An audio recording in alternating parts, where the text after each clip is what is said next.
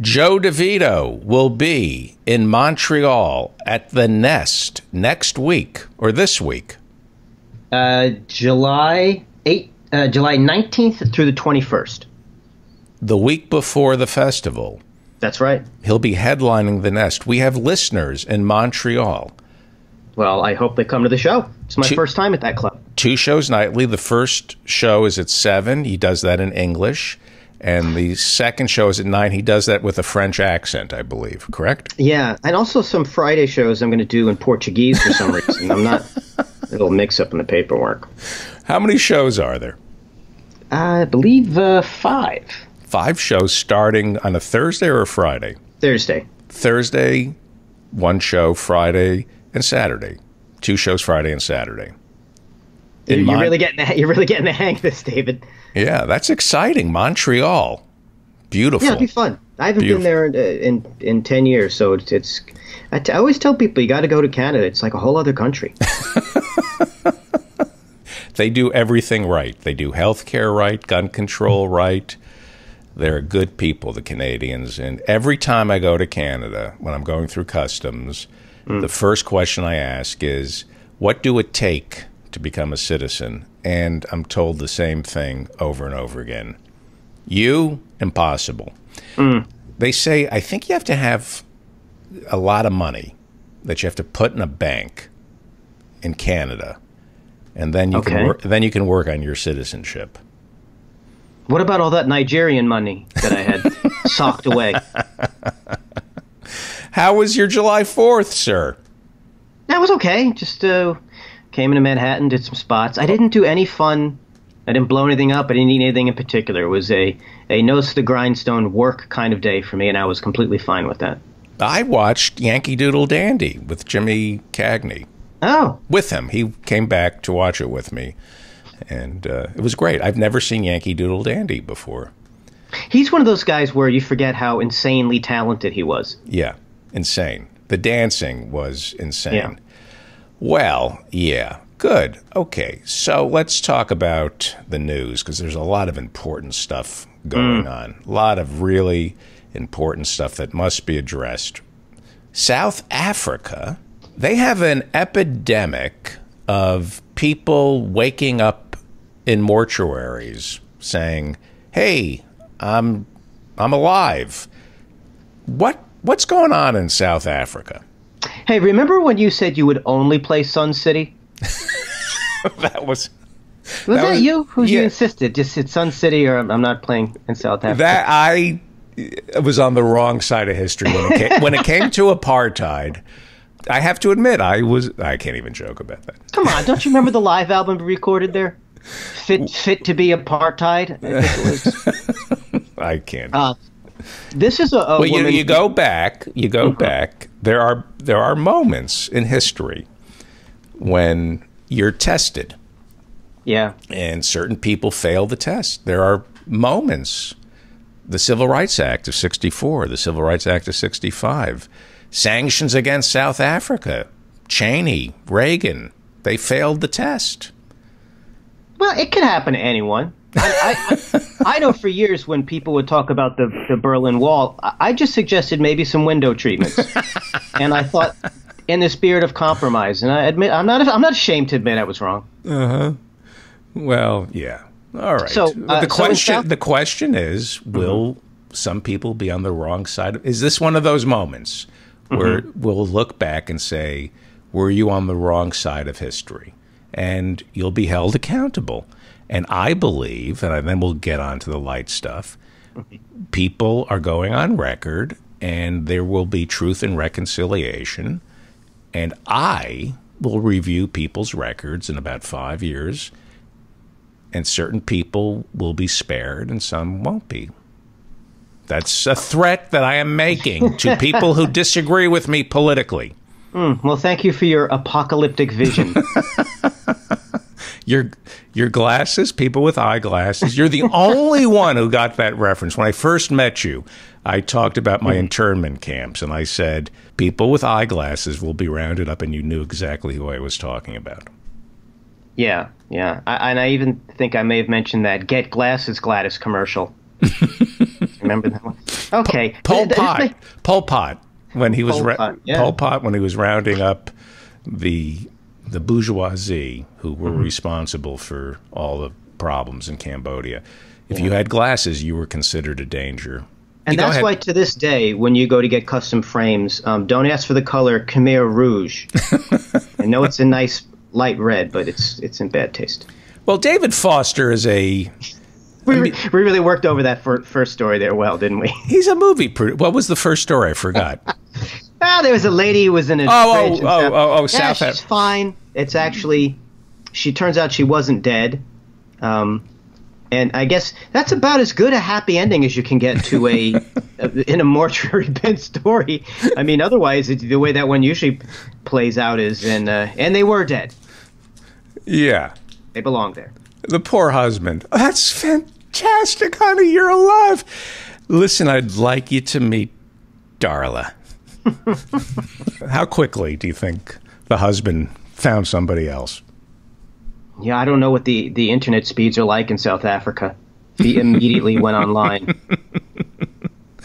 I guess they have trouble, the paramedics declare people dead earlier than they should. This is like the third time in two years that South African paramedics said, yep, dead. Next. Yeah, they're uh, they, they they jumped the gun a little bit on that. Um, yeah, it's sort of the opposite of better safe than sorry, I guess. they were prepared to lose a few to uh, speed up this process.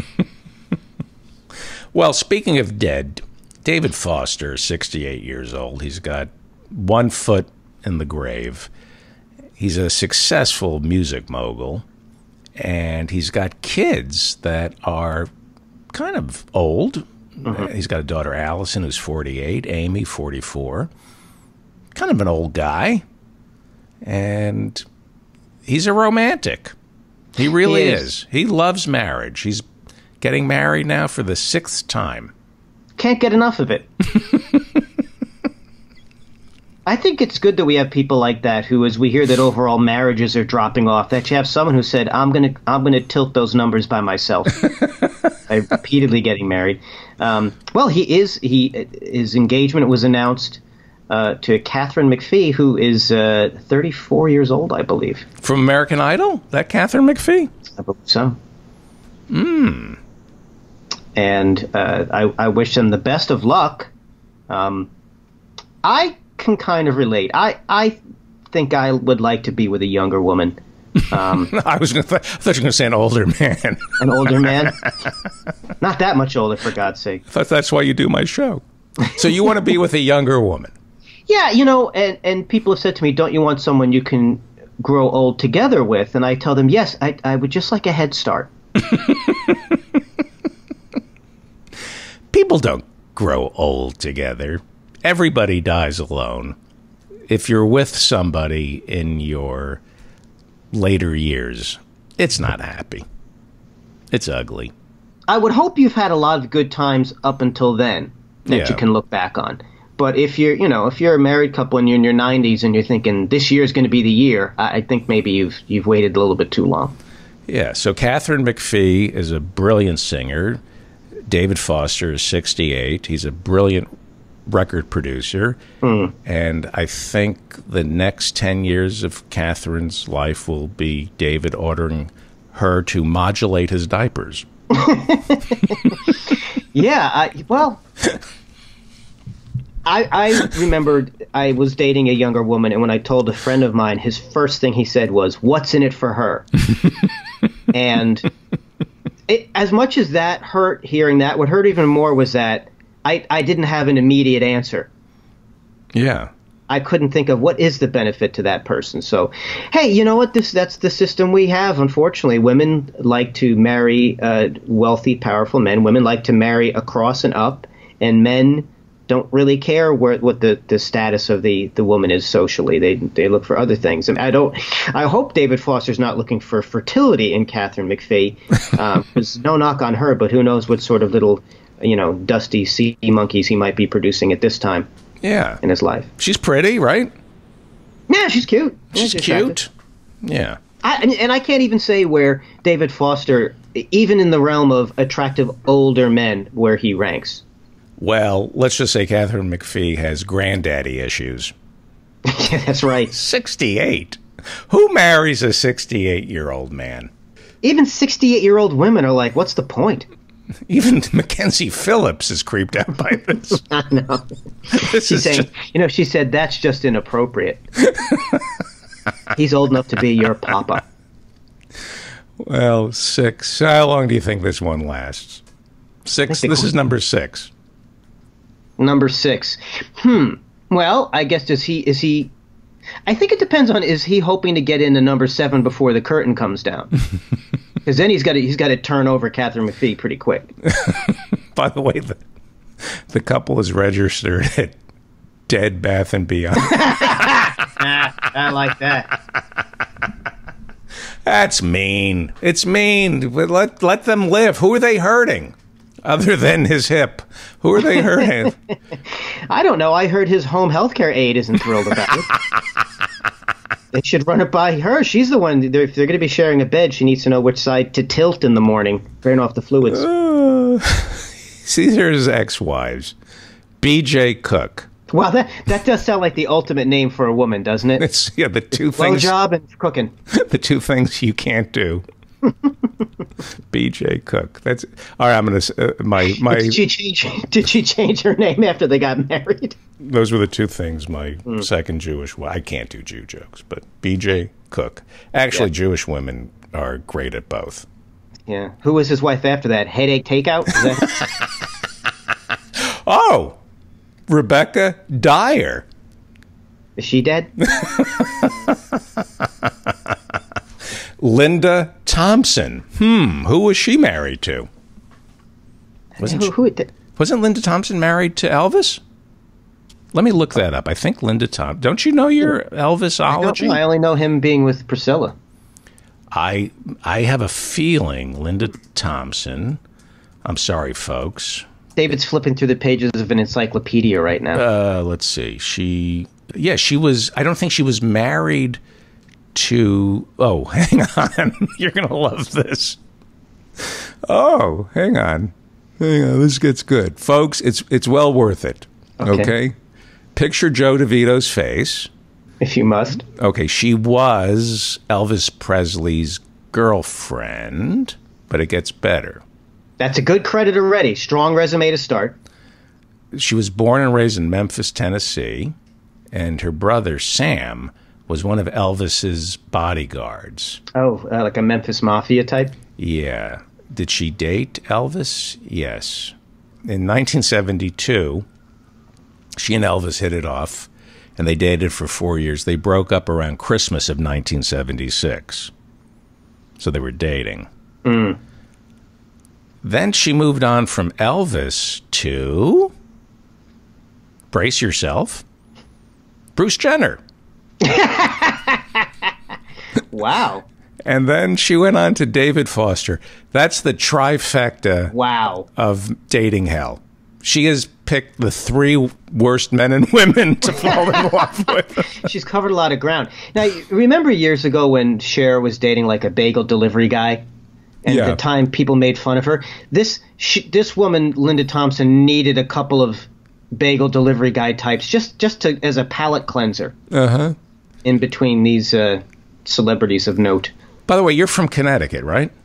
Uh, yes, that's where I grew up. And back when I was a child, when a Jewish person applied to a country club in Connecticut, they'd say, We can't let him in. He's a bagel delivery guy. that was code. that was a code. In- Yes, was that made with a, uh, a, a hooked finger o- over the nose gesture? Some, just in case the code wasn't received 100%. They acted out these Shylock monologues. you know, the kind if you cut him, he'll bleed, if you know what I mean? bagel delivery guy. I love that. Okay, so he third wife was Linda Thompson. Let's let, where am I? Okay. Then he was You're halfway through the list. I'm halfway through when the you're list. halfway through hell, keep going. All right, I'm sorry. So, okay, so BJ Cook, Rebecca Dyer, Linda Thompson, and Yolanda Hadid of Real Housewives of Beverly Hills fame. That sounds are- like a recent one. I think so. I think I saw them when I was forced to watch Real Housewives of Beverly Hills. And let me just say something about all women, and I know I'm going to get letters, and I know this is I know this is wrong. Mm. Women watch shit TV. they do. They they they watch shit. I know some really well educated women with more degrees than Los Angeles in a heat wave. That was my Dennis Miller. and they just watch crap. Yeah. Can't you read? No, I Chopped is on. Chopped, I don't mind. I'll watch it every now and then um, because I can barely feed myself, let alone cook. so I like to imagine I'm on that show where they say, uh, "Okay, chefs, you open your basket, you'll find black licorice, seashells, and a bottle of Windex." And when everyone else comes back with these amazing recipes, every every course I would be, well, you see, I combine the elements in a bowl and then put it in the microwave. Uh, well, let's get back to David Foster. Now, his fifth wife, this is a very interesting synchronicity. His fifth wife, I believe, was Caitlyn Jenner. So we've really come, have we come full circle here? He dropped to one knee. Well, that's just because his, his bones are shattered. No, seriously, he dropped to one knee. He did, and they don't say that he remained there for, for the remainder of his natural life. He blew out a meniscus. what is a meniscus? I love It's that. the it's the uh, little bit of um, collagen that's in your kneecap that the, the joint rests on. Oh, okay. While I'm down here, will you marry me? And then he gave her uh, a ring with a diamond made from the very same coal left in his stocking Christmas Day five billion years ago. Jesus Christ. Yeah. You know what? You know what else? That, I love they go into the details. He got down on bended knee. He gave her a diamond ring, but they don't say. And then he fucked her brains out because I don't think that part happened.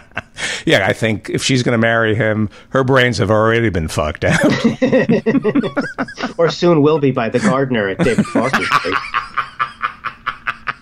Well, she can't be marrying him for money because he doesn't have it. There's no way he has any money left. If you have six wives, right? How many of them ate? How many of them ate the mushrooms? All right, uh, let's move on. I love this is a this is a beautiful story. There's a, uh gentleman who lives in Darwin, Minnesota, and he owns a truck.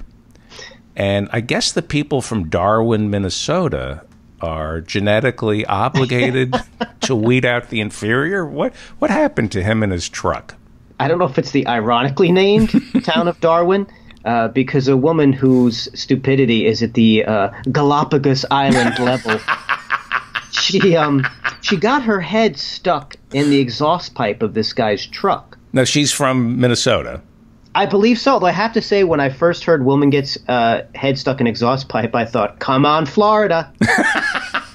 so I apologize to Florida for my assumption that uh, you know what my when I when I heard woman gets head stuck in exhaust pipe, I just figured she was in Los Angeles because of, of the smog. Hang on, let me just explain the joke. I was going to say Beijing because they have a lot of smog, but that would have I think people would have thought of tariffs and human rights. And Los Angeles's air is much cleaner. Hang on, let me kill myself. Go ahead. So Yeah, but you know, if you said Beijing, you could have delivered it and done like a little weird uh, your. yes, you could have tapped your. You could have rolled your fingers across your chest as you said Beijing. um, yeah, so she got her her head stuck in this uh, exhaust pipe, and it, there's a there's a couple of things I really like about this story. Um, first would be Actually, it was a prank. She has a, it was a prank. She has a potato face. Somebody was. were, what happens if you put a? I'm sorry, I'm interrupting you. I'm, I'm sorry. She was at the Winstock Country Music Music Festival, which I think we all assumed. And this is the quote from her. We were just all having fun, and I saw this big exhaust pipe, and I was like, hey. I'm not making this up. Hey, my head could probably fit in that. So I called it. It did fit, but it didn't want to come back out. All this quote, that's the, and that is the legit quote. I'm not making any of that up. So It didn't want to come back out. all that quote is missing is her saying, "I reckon." I reckon that could have fit my head into that. So I, I, this to me is a perfect illustration of how some people's brain power takes them to a certain point, but then no further. Where with a little bit more processing power, she could have had the same thought of, "Hey, my head probably could fit in that," but with a few more, a gigabyte, maybe even just a megabyte more, that same brain would have said, "But don't do that." Don't don't test that out. Why would you put your head ex- so the an exhaust pipe? uh, This is not like a, a monster truck. Yeah, it's a big exhaust pipe. Okay, so she thought I can put my head in there. Yeah, and then that's when that's when the the thought power went powered down. That's where her little brain said, "My work here is done. I have identified a thing you might be able to put your head into. I'm out." By the way, just out of curiosity, what happens if you put a potato in, a, in an exhaust pipe? Isn't that a prank? Isn't don't you? Yeah, you put a potato or you put a um a banana. And what happens? Oh, you've ruined a banana. I can tell you that much. I, it's supposed to. I think that was in um, an Eddie Murphy movie, one of the Beverly Hills Cops. He put a banana in it, and the, the car the car was unable to operate because it had a banana. I think now what happens is um, the car, if it's a, if it's a smart car, just thanks you for the potassium. and it moves, and it moves on. It says, and I actually run on bananas, and then it gets its own parking space into Whole Foods. So, so the, the, one Whoa, whoa, last whoa. thing. Go ahead. I'm sorry. One last thing I wanted to say about let's this woman uh, whose name Yes. is uh, in here. Yes. Caitlin Strom. Mm-hmm. That in the URL for the story, usually would just say head stuck. It's it says head dash stuck exhaust dash pipe. Like that's exhaust pipe. That's there, but it includes her name in the URL of Caitlin Strom. Uh-huh. So I thought that was a nice touch. Usually they don't identify the person in the URL, but this is let's really remember that Caitlin Strom was the one who got her head stuck in the exhaust pipe. Well, and let's remember that there are people at a country music festival. By the way, the Cars were playing at that. Gee, I'm sorry. Here, this is going to be even worse. This is on the lead up to a really horrible joke. Oh my God! I Was that- stopped for an even worse one. You faked us out while we're groaning at that one. Well, you know, the country music people, they, they love their cars so much that she decided to give that gentleman's truck. Hang on, let me take a sip of coffee. And here's the punchline, folks. She decided to give his truck a little head. And that is a joke that I just came up with, folks. Wow. Yes, thank you. Hang on, let me bow. Thank you. Um, speaking of brain capacity, David, I think that joke should be shoved into an exhaust pipe. That was so abusive. 45 minutes inside the pipe. She spent 45 minutes inside the exhaust pipe. Jesus, they had to use a power saw. I don't. Why don't firefighters complain more? Firefighters, when they get a call that a building's on fire, they must say, "Thank God." Just saw some idiot's head out of an exhaust pipe. They got her out with the jaws of the kill me now. Just, I don't want to be a firefighter. in. Yeah, the jaws of brain death. uh, you know, she it, it, for being in that for so long, she's actually um, it's the opposite of suffering brain damage. She's now smarter than she was. She had nowhere to go but up. And I wish I could say she's smarter from the experience, but nowhere in the story does it even imply that. And I ain't gonna do it again. And, and why do firefighters have? It has nothing to do with fighting fires. Why? Why do they have to be called for that? Aren't there Well, calendars that have to be shot featuring hunks? Why are they wasting their time? I, I'm just picturing her friends saying, uh, Caitlin got her head stuck in the pap again. uh, call the fire department, and someone saying, better set her on fire first. All right. So they know. Um, it says she was escorted from the festival when she was freed. That's think about what you have to do to get thrown out of the the Winstock Country Music Festival. But she is, but she has been cast in Coneheads three, so things work. Yeah, because Laraine Newman balked. Well, you like mani pedis. You like fish. I do. I've and I've often thought, is there a way I can combine these interests of mine? What happened? Uh, well, there is this kind of pedicure you can go where. and Already, this sounds like a bad idea. We've just made fun of a woman for sticking her head in an exhaust pipe. Yet, when we hear that some women get it done by putting their feet in a tank where fish come and eat the dead skin, mm-hmm. we're supposed to act like that's okay. Um, I'm looking for a new story where a woman had her head stuck in a, an exhaust pipe and fish came over and ate her feet at the same time. that would be a little bit of everything. Uh, this woman w- got uh, one of these fish eating your dead skin pedicures, and then afterward, her toenails fell off. That's a bad thing. But the, you know, the article said they're not even sure if the two things are related. Hmm. I just uh, uh, come on, that's not right for the fish. What kind No. of life is that? Yeah. I hope that once a month they just throw in a whole person and say, you know, knock yourselves out. Women do, have to do a lot of work to impress other women. Yeah, All that stuff is being done for women because we don't. I mean, we. I mean, we like a woman who's relatively groomed and dressed Yeah. proper, you know. But most of that stuff is done for other women, right? oh, because men will work around it. Yeah. Like I I saw a woman who had a pair of the most amazing breast implants I'd ever seen, and um, after staring at those for several hours, when I looked up, I noticed that her teeth were all jacked up.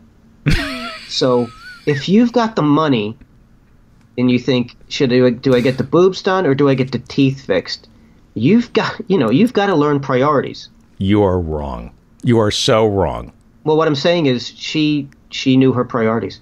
You're wrong Why? How could I possibly be wrong about that? because I knew this woman you did. and and and she hates going to the dentist. And she said to me, "I don't know what to do. I got these jacked up teeth. I'm afraid to smile, but I'm afraid of dentists." And I said, "Here's what you do: get breast implants. Get Makes some get some triple Qs.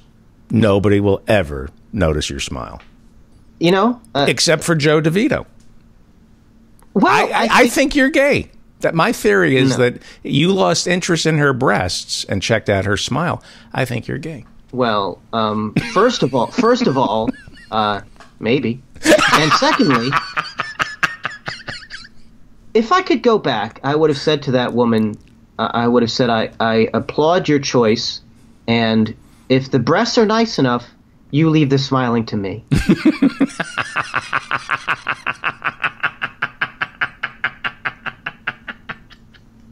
Because think about that. People have written songs about "I love to I love to see your smile," but no one writes a song saying I, "I love to see your tits" because it just it's understood. I think we need to call David Foster. I hope we haven't alienated him in any way. Well, see if you still got it. Why don't you why don't you wordsmith this one, pal? Does anybody have the number for the mortuary in South Africa? Wake David Foster up. We have a song we want him to produce. Yeah, that's what it says on his bracelet. Make sure I'm in a morgue in South Africa just in case. I heard that you have a, a bracelet that says, Do not resuscitate my career. That's what I heard. Yeah. All right, Mr. DeVito. Mr. DeVito, excellent job. A lot of fun. I talked too much today. I was so excited to hear your voice. I talked a little too much. I apologize. That's okay. You know, aside from that that one joke, but the rest was all right. The uh, coal joke from no, no, the coal joke I was fine with. that was pretty bad. you get my juices going, sir. I do. I get you all fired up. You get me fired up. Joe DeVito, what is the name of your most recent victim? I mean, album. well, uh, you know, it's actually going to be. You can get the pre-order now of Three's Comedy, and it's a um. Come and knock on my door. Exactly. And we, uh, I recorded with two very funny comics, Vicky Cooperman and Kyle Ocasio. And Three's Comedy is now available for pre-order, and I think it's uh, on the twentieth. You can get it on Amazon and iTunes, and it's it's pretty cool. We we did the album uh, with each of us doing about uh, 20 minutes, and they they were a pleasure to work with. Although they, they were not they were lukewarm on my suggested title of "Pretty Funny for a Girl." and I couldn't sell them on, but uh, yeah, and it just they were uh, they were so funny and it was a lot of fun. So yeah, look for um, Three's comedy with me and Vicky Cooperman and Kyle that's Ocasio. Such a, that's such a great Vicky Cooper in high school. There were these two beautiful girls one of them was named Vicky, and another was named Cooperman. Vicky Cooperman. That's so funny that there's mm. a, a, comic named Vicky Cooperman. Yeah. Okay. And so we do that, and then you have a date at the Nest. Yep, I got the Comedy Nest next week, the uh, 19th through 21st, and as always, uh, at Joe DeVito Comedy on Instagram and Twitter, and joedevito.com for my schedule and all your other emotional needs. I'm not going to embarrass you before you go, but somebody called me up and said, I've been listening to Joe DeVito on your show for a year, and he's driving me crazy. there, there's, there's a comedy writer mm-hmm. who uh, is very jealous of you. Really? And he said, you know, he keeps waiting and waiting and waiting to see your clay feet. Mm. Uh, but the fish during the pedicure. pedicure eighth. No, you really are. You continue to to startle me. Oh, thanks, man. Yeah, it's just uh, it's always fun. Stay on the line for one second. Gotcha. Great job.